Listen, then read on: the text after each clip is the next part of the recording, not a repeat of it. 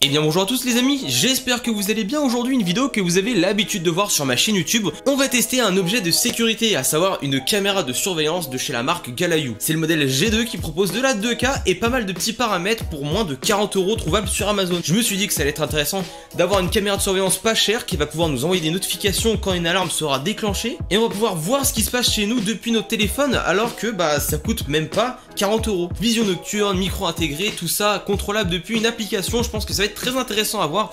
Si vous aimez ce genre de test, je vous invite à vous abonner à ma chaîne YouTube en cliquant sur le bouton s'abonner juste en dessous de la vidéo. Je vous invite également à activer les notifications parce qu'il y a pas mal de vidéos qui vont arriver. Mais à première vue les gars, cette caméra, enfin le packaging est tout petit. Et je me dis mais comment ils ont rangé ça? Je pense que la caméra va être très discrète. Ça va être intéressant à voir. Et on est donc parti pour l'unboxing. Et bien on se retrouve donc pour ouvrir ce colis. On va voir un petit peu ce qui nous réserve parce qu'on peut voir que le colis est assez petit. Et ça c'est la première fois que je reçois une caméra je pense aussi petite. À moins que ce soit très bien packagé mais dans tous les cas ça laisse pas beaucoup de place pour la caméra. Et je pense qu'elle est discrète. Et ça c'est ce qu'on recherche quand on a un objet en fait qui est fait pour la sécurité et qu'il faut que ce soit assez dissimulé dans la maison. Je veux dire, il faut pas que ce soit super gros, même si en étant gros ça peut être super dissuasif. Il faut quand même savoir faire la part des choses et je pense que bah, ça va être un bon compromis, une taille comme ça. On va juste enlever l'opercule qui protège euh, la petite caméra, pardon, j'ai perdu mes mots. Alors la boîte n'est pas grande, donc l'unboxing ne durera pas super longtemps les amis. Pourquoi? Bah parce que on a déjà tout l'essentiel ici. Ah, ils ont rajouté un bloc chargeur. Ça, c'est quelque chose que je vois de moins en moins souvent. Les marques offrent juste le câble USB type C, mais pas le chargeur qui va avec. Là, ils l'ont offert, ça c'est sympa de leur part. On a le support pour pouvoir l'attacher à un mur, donc ça, ça sert à faire les trous aux bons endroits. Ça, ça sert bah, effectivement à mettre des vis. Et ça, c'est le support avec la petite notice juste ici et puis on a fait le tour hein. on a vraiment fait le tour on n'a plus rien à rajouter. Un certificat de conformité à savoir que j'ai reçu le colis super rapidement. La marque m'a proposé d'en faire une vidéo. J'ai dit oui et euh, bah, en quoi en, 48 heures j'ai reçu le produit. Amazon donc c'est pour vous dire que la livraison se fait très rapidement. J'ai été assez impressionné de voir que c'était déjà ce colis là qui arrivait. Le câble USB type C est assez grand. La caméra bah elle est pas si grande que ça et on va pouvoir la cacher assez facilement je pense la mettre dans un petit coin ou quoi, je pense que ça peut vraiment le faire, même euh, sur un mur ou au plafond. Et je pense que le mieux, bah, c'est d'utiliser, euh, par exemple, sur un bureau ou quelque part un petit peu dissimulé, histoire de pouvoir quand même la bouger si on veut changer de position un jour. Et on a pas mal de choses intéressantes, hein. par exemple, on a la vision nocturne qui est améliorée sur cette caméra, on va la tester dans tous les cas. Également haut-parleur et micro, alors ça c'est pas une première, ça revient très souvent maintenant sur les caméras de surveillance, mais c'est un point du coup à notifier parce que la caméra juste ici ne coûte pas super cher, mais on a quand même ces fonctionnalités qui nous font plaisir, qui nous rassurent et on va pouvoir l'utiliser pour communiquer avec des gens dans notre maison. On aura une détection intelligente qui va pouvoir reconnaître un petit peu les actions, les mouvements et on va pouvoir la connecter du coup via une application où est-ce qu'on pourra voir sur cette application même jusqu'à 4 caméras de surveillance en même temps. Un petit peu comme dans les films où est-ce qu'il y a beaucoup de caméras de surveillance. Là c'est assez sympa d'avoir un ensemble, enfin du moins un aperçu d'ensemble et derrière bah du coup on a juste l'essentiel. Je vois qu'il y a un bouton reset juste à côté et tout simplement un port USB type C pour euh, pouvoir la brancher Enfin voilà, ça reste quand même l'essentiel et ça reste très discret. Et je ne sais pas encore où est-ce que je vais pouvoir la cacher pour la tester, mais ce que je peux vous dire, c'est qu'elle va passer vraiment partout. Écoutez, on va passer à la cinématique, on va essayer de connecter un petit peu tout ça, et je vais vous détailler un peu plus en détail toutes les caractéristiques de ce produit. On a pas mal de choses intéressantes au niveau du stockage et aussi au niveau des petites fonctionnalités qu'elle a que j'ai pas forcément évoquées. Donc restez bien attentifs, et puis ensuite on se retrouve pour le test de cette caméra de surveillance. Et on est donc parti pour la cinématique de la caméra G2 de chez Galayu. Alors elle va nous faire du 4K, on va pouvoir la connecter en Wi-Fi 2,4 GHz Malheureusement, elle ne sera pas compatible en 5 GHz. Elle aura une détection de mouvement intelligent, une sirène intégrée, plus des notifications qui vont arriver sur notre téléphone. On va avoir un enregistrement automatique de clips de 10 secondes à chaque mouvement détecté qui seront disponibles pendant 48 heures sur le cloud, donc pas besoin d'abonnement. Elle possède une vision nocturne qui va switcher automatiquement selon la lumière. Cette caméra possède un haut-parleur et un micro pour pouvoir capter et émettre du son. Le tout contrôlable sur l'application et on pourra partager la caméra jusqu'à 3 appareils. Trouvable sur Amazon pour un prix de 33 euros, c'est un prix très compétitif. Et bien on va donc découvrir l'application ainsi que les différentes fonctionnalités de cette caméra. Alors j'ai pu relever des choses intéressantes. Là on remarque qu'il y a quand même une latence. Là je vais faire ça, on va voir que ça s'affiche un petit peu après. il y a une petite latence. Au début, ça commençait à bugger. Pourquoi Est-ce qu'il y avait trop de lumière derrière moi? Du coup, j'ai éteint la lumière derrière moi parce que ça éclairait en RGB, full RGB. Je ne sais pas si ça jouait réellement, mais je pense plus que c'est une histoire de réseau. Enfin bref, il y a un tout petit décalage. Là, on est en SD. On a également bah, du, la, de la full HD. Et bon, ça a un petit temps d'adaptation parce que oui, c'est pas le même débit, c'est pas la même qualité, mais on va avoir quelque chose de beaucoup plus net. On va essayer de voir un petit peu ce que ça donne. Alors voilà, dans tous les cas, je vais vous mettre un extrait comme je fais à chaque fois quand je teste des produits de ce genre. Je vais vous mettre un extrait pour voir un petit peu. Ah, on voit qu'en plein écran, on peut bouger nous-mêmes la caméra, d'accord? Donc là, on va la faire bouger.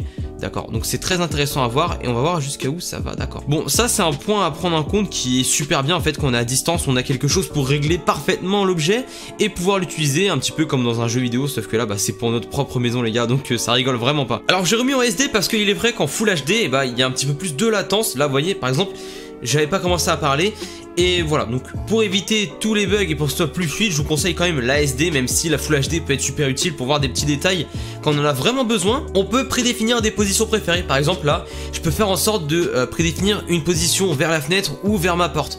Et selon la position, bah, je clique et ça dirige euh, directement vers la position que j'ai prédéfinie. Alors on peut activer le son juste ici, hop, et on va m'entendre parler en écho. Ok donc pour enregistrer on appuie sur la caméra et là ça lance tout seul un enregistrement. Donc c'est plutôt cool et idem pour les photos. Je pense que quand on appuie dessus une fois ça va faire une photo. Voilà on a fait une photo par exemple ici. Et après dans les paramètres supplémentaires donc dans paramètres avancés on a le volume d'auteur euh, d'eau-parleur de la caméra. Moi je vais mettre à fond. Rotation de l'image si jamais on l'accroche au plafond. Inviter des gens application locale alerte. Voilà on a beaucoup de choses. On a le niveau de sensibilité de détection de mouvement là qui est à moitié. Donc je pense que c'est très bien. Et on peut également définir la zone, d'accord. Donc on peut voir que quand même, pour moins de 40 euros, on a des choses de très très bonne qualité, de très complètes. Et maintenant ce qui va être cool, c'est de tester tout ça un petit peu eh bah, dans le noir, parce qu'on nous dit qu'il y a une bonne qualité dans le noir. On va voir la qualité de l'image en jour, et également quand j'ai fermé les volets et éteint toutes les lumières. Donc c'est parti. Et eh bien les amis, donc on va activer l'alarme, enfin la sirène, et on va voir ce que ça donne. Donc là, mouvement on va mettre tout ça en fait on va faire en sorte que euh, ça détecte au mouvement et euh, on va voir ce que ça donne. Mais je l'ai testé juste avant et c'est incroyable. Alors là on est à moitié c'est à dire que la détection de mouvement se fera à moitié enfin la sensibilité est à moitié donc on peut avoir encore plus sensible. Mais là on va passer devant et on va voir quand est-ce que eh ben, ça me détecte et ça va faire normalement un sacré bruit en plus. J'ai mis à fond. Ok d'accord. Bon voilà ça fonctionne sans aucun doute Là j'ai mis à fond, c'est un peu dérangeant. Ok d'accord, donc ça fonctionne bien. Par contre, j'ai pas encore reçu de notification. Est-ce que c'est parce que je suis sur l'application directement? On va retester ça. Bon pour l'instant j'ai pas reçu de notification, est-ce que je dois aller dans les paramètres et activer quelque chose? Mais c'est un point que je relève quand même, parce que ça se fait pas à la... Enfin j'ai l'impression que ça se fait pas automatiquement.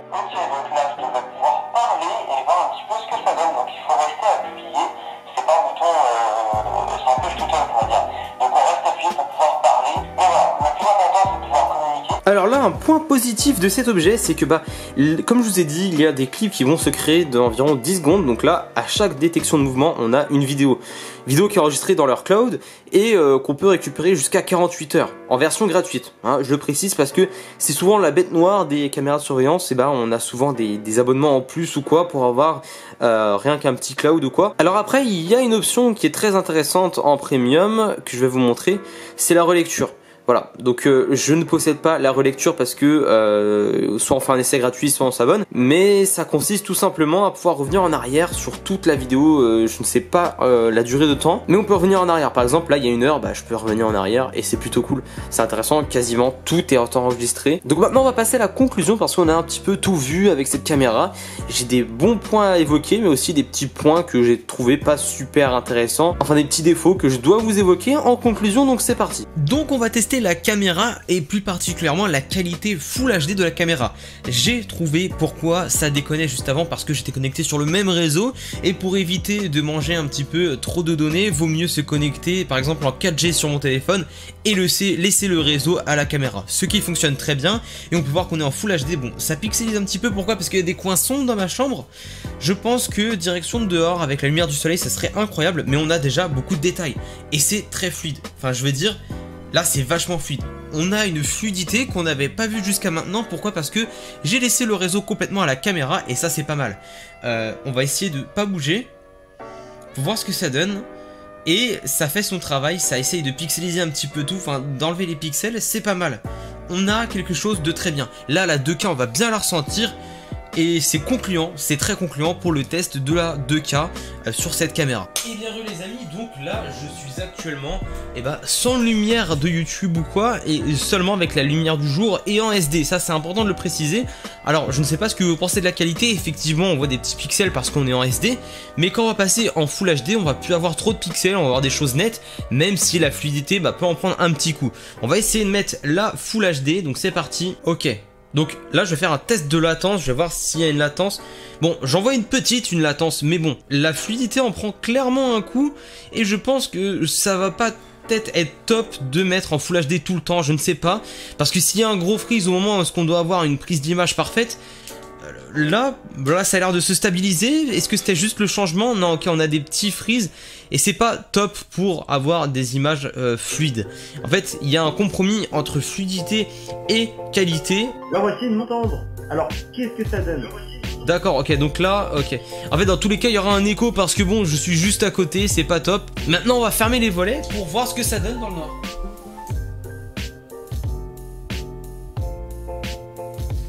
Ah, ok, donc là on est passé en mode infrarouge et ça, ça fait plaisir. On voit beaucoup de détails. Hein. Vous verrez la différence entre ma cam et euh, tout simplement la caméra de surveillance. Il y a une grosse différence. Il y a une grosse différence et ça, ça fait plaisir. À ma cam, on ne voit rien, mais à la caméra, on voit beaucoup de choses. Et ça, c'est parfait. Alors ça, c'est incroyable par contre. C'est très fort de leur part parce que là, on voit beaucoup de détails et c'est presque flippant. Écoutez, maintenant on va tester les alarmes et également on va essayer de parler un petit peu. Mais pour l'instant, c'est vrai que la Night Vision, c'est un point qui me fascine réellement sur ce produit. On voit très bien mon visage. Et bien les amis, qu'est-ce que j'ai pensé de la caméra de surveillance G2 de chez Galayu? Laissez-moi vous dire que pour son prix quand même, on a énormément de choses intéressantes comme par exemple l'enregistrement euh, de 10 secondes d'un clip vidéo disponible 48 heures à chaque détection de mouvement, ça c'est incroyable. Haut-parleur, micro, tout ça contrôlable sur une application et c'est incroyable quand même pour le prix de pouvoir avoir accès à des images depuis chez soi alors qu'on n'est même pas chez soi. Donc on a réellement beaucoup d'options que j'ai pu voir dans d'autres caméras de surveillance qui sont beaucoup plus chères, même deux fois voire trois fois plus chères. Elle est discrète, par contre je relève quand même des petits points négatifs que je me dois de vous évoquer. Le premier point négatif c'est tout simplement la Full HD. Ok il y a de la Full HD, ok on va ressentir une meilleure euh, qualité d'image, on va pouvoir avoir plus de détails, mais par contre ça va empiéter tout simplement sur la fluidité du clip. Alors est-ce que c'est un compromis à faire? Je pense. Je pense qu'il y a un compromis entre fluidité et euh, netteté d'image. Il faut choisir. il faut reconnaître qu'avec mon test, de ce que j'ai vu, c'était moins fluide avec de la Full HD. Ensuite, un autre point, c'est que eh ben, cet appareil se connecte par Wi-Fi effectivement, mais seulement en 2,4 GHz. Si vous savez pas ce que c'est, dites-vous qu'en ce moment, presque toutes les box sont équipées euh, de 5, 5 GHz tout simplement. Et pour repasser en 2,4 il faut faire un petit changement pour pouvoir avoir accès à ce réseau en 2,4 moi je l'avais fait parce qu'il y a d'autres objets comme par exemple une climatisation que j'ai dû connecter qui n'était pas compatible en 5 GHz mais voilà c'est un petit point à prendre en compte. Une petite manip à faire mais rien grave et ensuite bah je n'ai pas reçu de notification jusqu'à maintenant. Alors est-ce que j'étais présent sur l'application? L'application s'est dit ça sert à rien d'envoyer des notifs parce qu'il est déjà dessus est-ce que j'ai pas activé quelque chose dans les paramètres qu'il faut activer? J'aurais aimé voir des notifications directement. Donc voilà, ce sont des petits points que je relève, mais sinon, eh ben pour son prix, on a énormément de choses intéressantes à voir. Si vous avez aimé ce produit, n'hésitez pas à aller voir en description, il y aura son lien ainsi que la boutique de chez Galayou. Je vous invite également à vous abonner à ma chaîne YouTube, et puis nous on se revoit la prochaine pour une nouvelle vidéo, un nouveau test, et passez une très bonne journée.